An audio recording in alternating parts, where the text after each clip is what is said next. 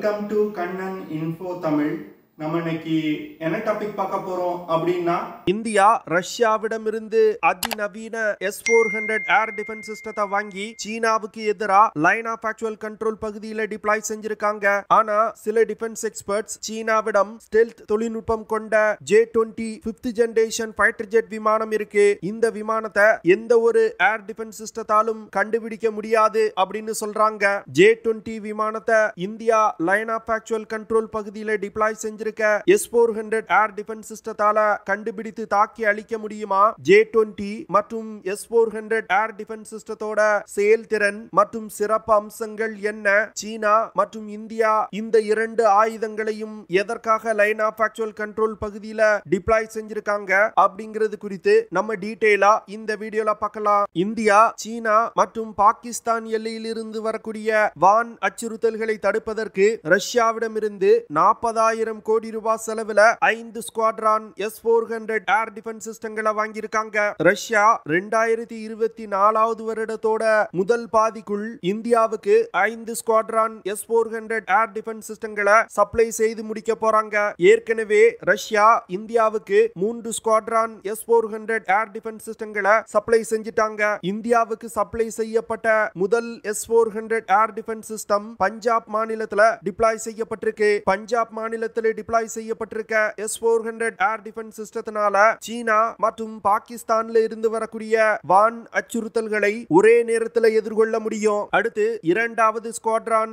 S four hundred air defence சிஸ்டத்தை India west Bengal மாநிலத்தில் இருக்கக்கூடிய ஹஷிங் மாரா விமானப்படை தளத்துல டிப்ளாய் செஞ்சிருக்காங்க. இந்த ஹசிங் மாரா விமானப்படை தளம் ஒரு ஸ்ட்ராட்டஜிக்கல் முக்கியத்துவம் வாய்ந்த இடத்துல இருக்கு. அதாவது பங்களாதேஷ் பூட்டான் மற்றும் இந்திய எல்லை இணையக்கூடிய ட்ரை ஜங்ஷன் பகுதி பகுதியான சிலிகுரி காரிடோர் பகுதியை இந்த ஹஷிங் மாரா விமானப்படை தளத்துல டிப்ளாய் செய்யப்பட்டிருக்க S four hundred air defence சிஸ்டங்கள்னால பாதுகாக்க முடியும். இதை தொடர்ந்து மூன்றாவது squadron S four hundred air defence சிஸ்டத்தையும் Russia supply செய்து முடிச்சிருக்காங்க. இந்தியா இந்த S four hundred air defence சிஸ்டத்தை தற்போதைய நிலையில் அதிக அளவுல சீன எல்லை பகுதியில தான் டிப்ளாய் செஞ்சிருக்காங்க. இதற்கு முக்கிய காரணம் சீனாவிடம் ராக்கெட் போர்ஸ் அப்படிங்கிற பிரத்யேக ஏவுகணை படையணி இருக்கு. அது மட்டும் இல்லாம சீனா அதிக அளவுல ஃபைட்டர் ஜெட் விமானத்தை லைன் ஆஃப் ஆக்சுவல் கண்ட்ரோல் பகுதியில டிப்ளாய் செஞ்சிருக்காங்க.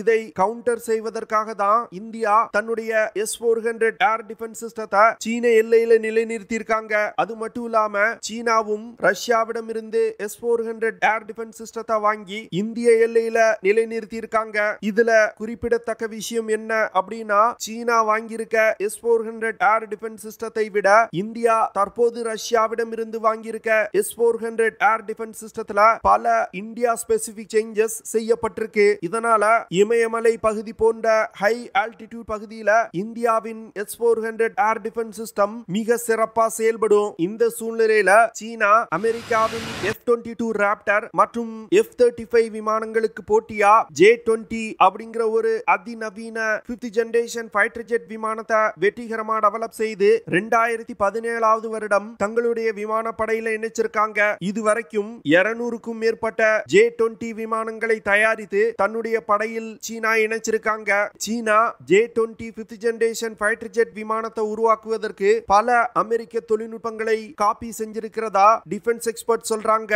அமெரிக்காவின் எஃப் டுவெண்ட்டி டூ ராப்டர் மற்றும் எஃப் தேர்ட்டி ஃபைவ் விமானத்திற்கு அடுத்து ஸ்டெல்த் தொழில்நுட்பம் கொண்ட பிப்த் ஜெனரேஷன் ஃபைட்டர் ஜெட் விமானம் அப்படின்னா அது சீனாவின் ஜே டுவெண்டி விமானம் தான் இந்த விமானத்துல சீனா விமானத்தோட இன்ஜின்ல இருந்து அனைத்து விதமான சிஸ்டங்கள்லயும் தொடர்ந்து பல்வேறு விதமான மாற்றங்களை கொண்டு வந்துகிட்டு இருக்காங்க. வரும் காலத்துல இந்த ஜே டுவெண்ட்டி விமானம் தான் சீன விமானப்படையின் முதுகெலும்பா செயல்பட போகுது. லைன் ஆஃப் ஆக்சுவல் கண்ட்ரோல் பகுதியில சமீபத்துல இந்தியாவுக்கும் சீனாவுக்கும் பிரச்சனை ஏற்பட்ட பொழுது சீனா இந்த ஜே டுவெண்டி விமானத்தை அதிக அளவுல லைன் ஆஃப் ஆக்சுவல் கண்ட்ரோல் பகுதியில டிப்ளாய் செஞ்சிருந்தாங்க. India line of actual control பகுதியில டிப்ளாய் செஞ்சிருக்க S four hundred triumph air defence சிஸ்டத்துல high altitude air defence system interceptor மிசைல்கள் இருக்கு. இதனால உலகின் அதிநவீன fighter jet விமானங்களான Sukhoi F eighteen super hornet F fifteen eagle போன்ற ஃபைட்டர் ஜெட் விமானங்களை கூட இந்த ஏர் டிஃபென்ஸ் சிஸ்டங்கள்னால வெற்றிகரமா தாக்கி அளிக்க முடியும். அது மட்டும் இல்லாம பி ஒன் பி லான்ச்சர் மற்றும் பி பிப்டி டூ போன்ற bomber விமானங்களையும் S four hundred air defence சிஸ்டத்தினால தாக்கி அளிக்க முடியும். அது மட்டும் இல்லாம எதிரி எல்லையில் இருந்து தொலை தூரத்தில் இயங்கக்கூடிய அவாக்ஸ் விமானங்களை கூட இந்த S four hundred air defence சிஸ்டத்தினால தாக்கி அழிக்க முடியும். S four hundred air defence சிஸ்டத்துல இருக்கக்கூடிய ரடார்கள்னால கிட்டத்தட்ட எண்ணூறு கிலோமீட்டர் தூரத்துல உள்ள ஏரியல் டார்கெட்டுகளை கண்டுபிடிக்க முடியும். அது மட்டும் இல்லாம ஒரே நேரத்துல நூறுக்கும் மேற்பட்ட டார்கெட்டுகளை சைமல்டேனியஸா ட்ராக் செய்ய முடியும். இந்த ஏர் டிஃபென்ஸ் சிஸ்டத்தினால ஒரே நேரத்துல முப்பத்தி ஆறு இலக்குகள் மீது தாக்குதல் நடத்த முடியும். S four hundred air defence சிஸ்டத்தில் இருந்து விமானங்களால் தப்பிக்கவே முடியாது. இந்த ஏர் டிஃபென்ஸ் சிஸ்டம் ஒரு முறை விமானத்தை டிடெக்ட் செஞ்சுட்டா விமானத்தை கண்டிப்பா சுட்டு வீழ்த்திடும். இந்த ஏர் டிஃபென்ஸ் சிஸ்டத்துல கிட்டத்தட்ட ஆறு விதமான மிசைல்கள் பயன்படுத்தப்படுது. அதாவது டார்கெட் எவ்வளவு தூரத்துல இருக்கு அப்படிங்கறத பொறுத்து இந்த ஏர் டிஃபென்ஸ் சிஸ்டத்துல இருக்கக்கூடிய மிசைல்கள் லான்ச் செய்யப்படும். குறைந்தபட்சமா நாற்பது கிலோமீட்டர்ல இருந்து அதிகபட்சமா முன்னூத்தி எண்பது கிலோமீட்டர் தூரத்துல உள்ள ஏரியல் டார்கெட்டுகளை இந்த ஏர் டிஃபென்ஸ் சிஸ்டத்துல இருக்கக்கூடிய மிசைல்கள்னால தாக்கி அழிக்க முடியும். இந்த ஏர் டிஃபென்ஸ் சிஸ்டத்தை ரஷ்யாவின் அல்மாஸ் அண்டே அப்படிங்கிற நிறுவனம் தயாரித்து வர்றாங்க. ஒரு S four hundred air defence system அப்படிங்கிறது command and control stations radar systems missile லான்ச்சர்கள் போன்ற பல்வேறு விஷயங்களை இந்த S four hundred air defence சிஸ்டத்துல ஒருங்கிணைச்சிருக்காங்க.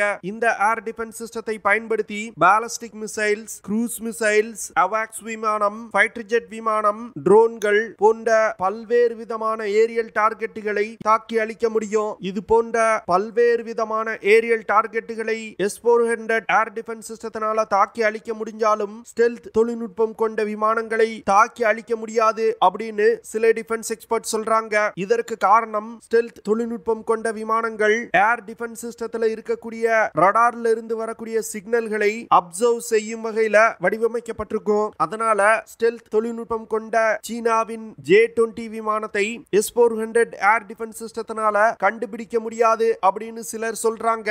இந்த ஜே டுவெண்டி விமானம் தான் சீனா உருவாக்கியதிலே அதிநவீனமான விமானம். இந்த விமானங்கள்னால அதிகபட்சமா முப்பத்தி ஏழாயிரம் கிலோகிராம் எடையை சுமந்து கொண்டு பறக்க முடியும். ஜே டுவெண்டி விமானத்தினால அதிகபட்சமா மாக் டூ அப்படிங்கிற வேகத்துல பறக்க முடியும். அதாவது ஒலியின் வேகத்தை விட இரண்டு மடங்கு வேகமா ஜே டுவெண்டி விமானங்கள் பறக்கும். அடுத்து இந்த விமானத்தினால அதிகபட்சமா ஐயாயிரத்தி ஐநூறு கிலோமீட்டர் தூரம் வரைக்கும் பறக்க முடியும். இந்த விமானத்தினால அதிகபட்சமா அறுபத்தி ஆறாயிரம் அடி உயரம் வரைக்கும் பறக்க முடியும். ஜே டுவெண்டி விமானத்தோட ஸ்டெல்த் கேப்பபிலிட்டியை அதிகப்படுத்துவதற்கு இன்டர்னல் வெப்பன் பே தொழில்நுட்பம் பயன்படுத்தப்பட்டிருக்கு. இதன் மூலமா கிட்டத்தட்ட பதினோராயிரம் கிலோகிராம் மிசைல்ஸ் மற்றும் ஆயுதங்களை விமானத்தோட உள்புறத்துல சேமிக்க முடியும். PL ten PL twelve PL fifteen போன்ற அதிநவீன ஏர் டு ஏர் மிசைல்கள் விமானத்துல இணைக்கப்பட்டிருக்கு. இது போன்ற பல சிறப்பு அம்சங்கள் ஜே டுவெண்டி விமானத்துல இருந்தாலும் அதுல மிகவும் ஒரு முக்கியமான குறைபாடு இருக்கு. இதன் காரணமா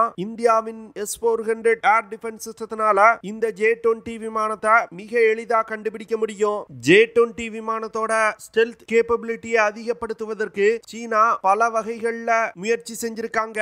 இருந்தும் ஜே டுவெண்டி விமானத்தை இந்தியாவின் S four hundred air defence சிஸ்டத்தினால கண்டுபிடித்து தாக்கி அளிக்க முடியும்? இதற்கு மிகவும் முக்கியமான காரணம் விமானத்தோட டிசைன்ல ஸ்டெல்த் தொழில்நுட்பம் இருக்கலாம். ஆனா ஜே டுவெண்டி விமானம் அடுத்த விமானங்களோடு தொடர்பு கொள்வதற்கு ரடார் சிஸ்டங்களை பயன்படுத்துவாங்க. அந்த ரடார் சிஸ்டங்களை பாசிவ் சென்சார்கள் மூலமா கண்டுபிடிக்க முடியும். குறிப்பா ஜே டுவெண்டி போன்ற பிப்த் ஜெனரேஷன் ஃபைட்டர் ஜெட் விமானங்கள் தரை கட்டுப்பாட்டு அறை மற்றும் அவாக்ஸ் விமானங்களோடு தொடர்ந்து தொடர்பில் இருப்பாங்க. இதன் மூலமா S four hundred air defence சிஸ்டத்தில் இருக்கக்கூடிய பாசிவ் சென்சார்களை பயன்படுத்தி ஜே டுவெண்டி விமானங்களை மிக எளிதா கண்டுபிடிக்க முடியும். அது மட்டும் இல்லாம கண்டுபிடிக்கப்பட்ட விமானங்கள் மீது S four hundred air defence சிஸ்டத்தினால மிக துல்லியமான தாக்குதல்களை நடத்த முடியும். பாசிவ் சென்சார்கள்னால விமானத்தில் இருக்கக்கூடிய ரடார் சிஸ்டங்கள்ல இருந்து வரக்கூடிய ரடார் சிக்னல்களை கண்டுபிடிக்க முடியும். இதன் காரணமா ஜே டுவெண்டி விமானங்களை மிக எளிதா S four hundred air defence சிஸ்டங்கள்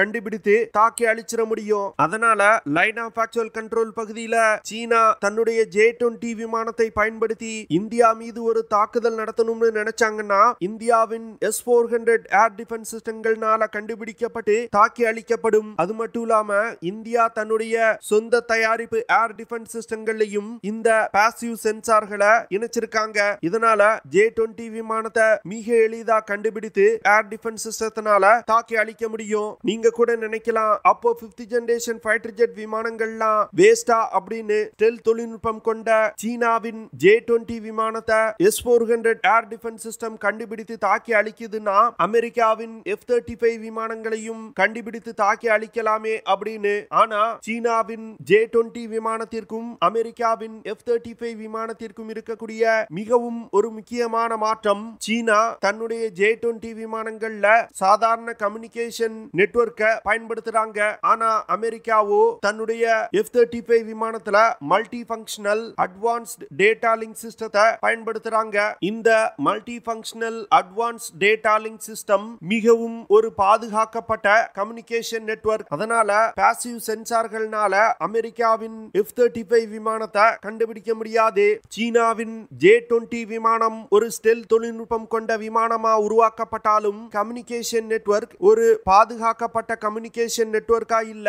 இதன் காரணமா இந்த இந்திய எல்லையை ஒட்டி பறந்த ஜே டுவெண்டி விமானங்களை இந்திய ரடார் சிஸ்டங்கள்னால மிக எளிதா கண்டுபிடிக்க முடியுது அப்படின்னு சில இந்திய ராணுவ அதிகாரிகள் தெரிவிச்சிருக்காங்க.